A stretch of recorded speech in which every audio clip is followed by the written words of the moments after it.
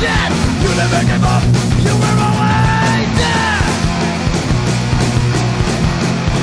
You kept it apart